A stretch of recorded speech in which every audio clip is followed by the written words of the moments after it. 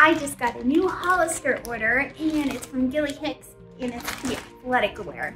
Right now, I just tried something on. It is one of their athletic wear dresses and it is so nice. Just for size reference, I'm a size small and a D to a double D on this part.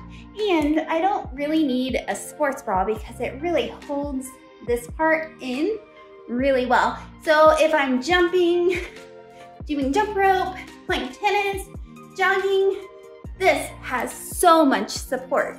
Also, you lift this up, it comes with these built-in shorts right here and a pocket. Only downside to it is that if you were to need to use the ladies room, you have to take the whole thing off. This thing is awesome. I love it so much.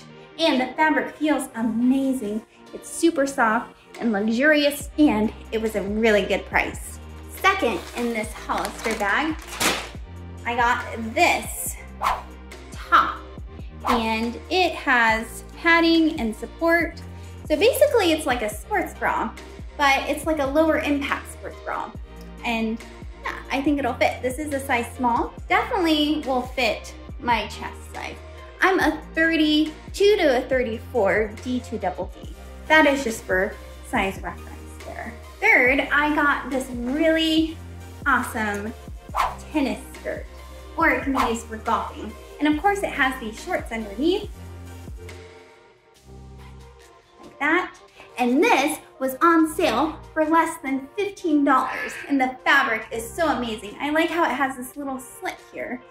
So here's the tennis skirt. It is really cool. And like I said, this was under $15. And it comes with those shorts underneath with this little side pocket for anything that you might need. And then also this top right here. It has underneath it sports bra and it's slightly padded. It's a low impact, but I tried bouncing around, jogging, and there's no bouncing whatsoever. So this one holds out pretty well and I would recommend this top for sure. Now check out these jogging shorts or running shorts. This fabric feels amazing and it has this mesh undergarment under here and in the back it's got that pocket that zips, zipper pocket with that one and a half to two inches right there to put whatever would fit there, maybe a key or something like that. But yes, definitely really perfect jogging outfit. Wow.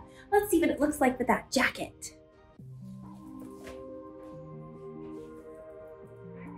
Wow, this color combination is amazing. Now, this jacket, unlike the Lululemon, does not have that little thumb hole, but for me, it does not matter because I don't like the thumb hole anyway. So, up. Ah. This jacket looks really good if you have dark hair with this color. It just looks so amazing. And has these pockets, very nice. Pockets on both sides. This fabric feels so good. Definitely comparable to Lululemon. So if you wanna save money, which I highly recommend, I would go with this brand. Let's see what it looks like with these trainers. All of these items are definitely a keeper and I am ready for a jog.